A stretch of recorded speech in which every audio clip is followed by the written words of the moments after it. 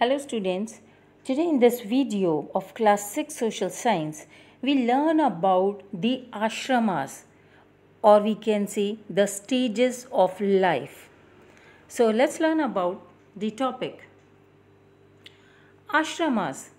While Buddhism and Jainism developed the sanghas and monasteries, the system of ashramas was developed by Hindu Brahmins. Here, ashramas were the stages of life. These lives are Brahmacharya, Grahastha, Vanprastha, and Sannyas. So, let's learn about these stages. Brahmacharya Ashrama.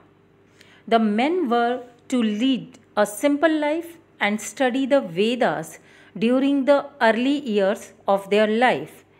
This was only for the Brahmins Kshatriya and Vaishya.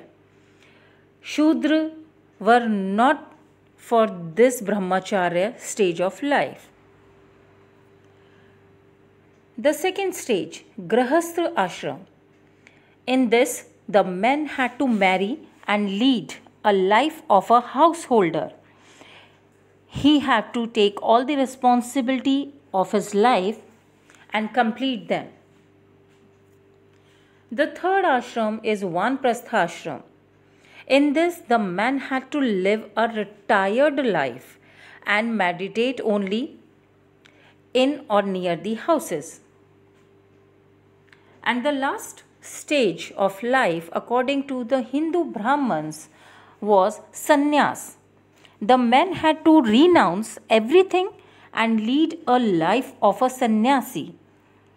Now, here one thing is important that the women were not allowed to study the Vedas and had to step into the ashramas that their husband followed. Means the women don't have any choice. They have to follow their husbands only.